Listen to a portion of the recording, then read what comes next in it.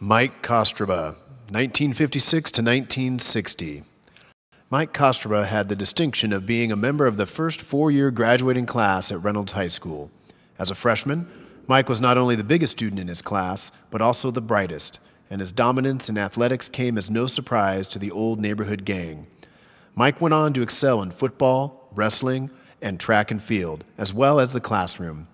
During his senior year, he earned a place in the state wrestling meet, all conference honors in football, and he was named to the Shrine All Star football game. Mike attended Lewis and Clark College, where he helped lead the Pioneer football team to an undefeated season in 1963. Mike's original desire to earn a law degree was sidetracked by his love of athletics. Instead, he became a high school teacher and coach, and later, a beloved athletic director of Sandy High School. Mike, who passed away much too soon in 1996, is remembered for his sharp wit, larger than life personality, and most notably, his wonderful generosity. Lived next door to Mike Kostrba when we were kids. He moved in in the eighth grade, and uh, he was a couple years older than I was, but he weighed 201 pounds when he moved in. I remember that. And then we went to the same high school, we went to the same college, ended up teaching and coaching on the same staff together. So, you know, we were lifelong friends. I'm Mike's oldest sister, being six years younger than he is. And I am the eighth child in the family of eight. Mike was number one. I'm Mike's brother. I was uh, the fifth one born out of the uh, out of the family of eight children. At a restaurant, if the food server brought a very small portion, he'd look at the portion, he'd look up at the food server, and he'd say, I spill more than that on my tie. One of my very first recipes was one that Michael wrote when he was a child, and I still have it. And here's this, you know, line printed paper with his printing on there. It's a toast and peanut butter and bacon sandwich. to his Christmas parties, he would always surprise you either as an elf or as Mrs. Santa. So those are always funny when you would walk in there and see the six four man dressed up as Santa's wife or um, the elf. That was always a pleasure. There was times I saw him catch the running back, and the next thing you know, all you saw was the back of Mike's 77 jersey, and you couldn't even see that running back because Mike was all over him. His siblings are still in, in school, and he loved to watch and share their accomplishments. Happened every year was this big dinner that he hosted when he was uh, athletic director at Sandy High School, and Mike was a single person, so I was oftentimes the hostess along with my mother and a couple of other people. And that was always a huge, huge fun event. Many times there was as many as 100 people showing up. To tell you, every year, um, the day after Thanksgiving, Mike would get up very early and go to Fred Meyer's, get the donut and coffee, free donut and coffee, and buy several, several gifts. And then that following Sunday, and at least two or three Sundays after that, I would go to his house and I would wrap present after present after present. And that man bought for everyone. He loved to give gifts. I ended up living with Mike for a couple years, and I tell you, that was almost as tough as living with mom and dad. Because when you lived at Mike's house, you lived by Mike's rules. But I mean, he was straightforward. He called a spade a spade. Uh, but uh, he was a very honest man, true to his word. And uh, I just, I, I'm, I'm really happy I spent those two years living, in, living with Mike.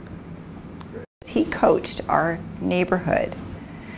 We had, including me, I would get recruited to play football basketball, baseball, whatever was going on, and Mike would be out there coaching the whole neighborhood.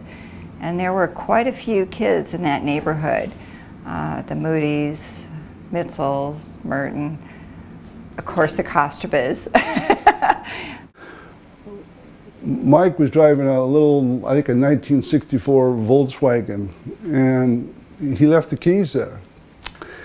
And so, like I say, this was during the Christmas vacation. It was cool. It was a little icy on the roads. And we took it out for a drive, and we ended up on uh, San Rafael Road between 181st and 194th, I believe.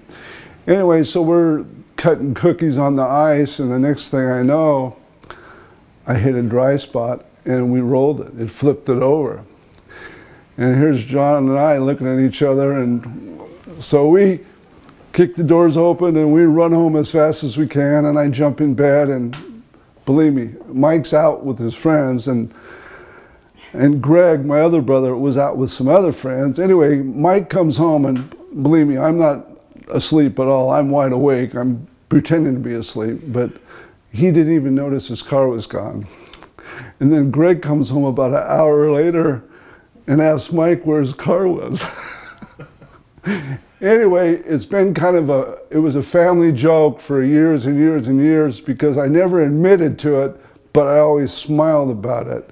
So Mike knows what happened, but. Uh, he was one of the uh, formative Reynolds High athletes. He was one of the first good ones to come in. He helped anyone, and something that Mike did that most people don't know about as an adult, uh, he was always in tune with the kids that he coached. And if he knew that someone needed something, he would take care of it and he would do it. He was a very giving person. Um, and probably I would say the smartest person that I've ever met. I just remember seeing Mike on the football field in high school and in college. I used we used to go to Lewis and Clark when he played there and watch his games. And I didn't see a better defensive tackle in the game in high school or college.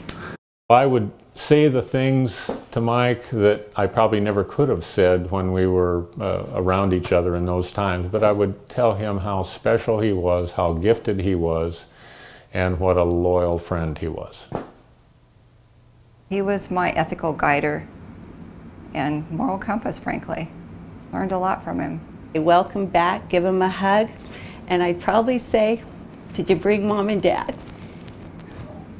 Just that uh, I've always loved him and uh, always respected everything he did. I've, I think both my sisters have said this, and I don't think I've ever met a, a smarter man.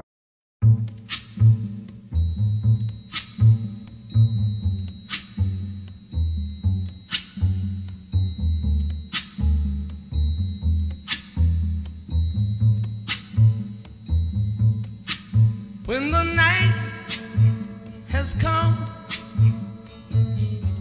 and the land is dark and the moon is the only light we'll see. No, I won't be afraid. Oh, I won't be afraid just as long as you stand.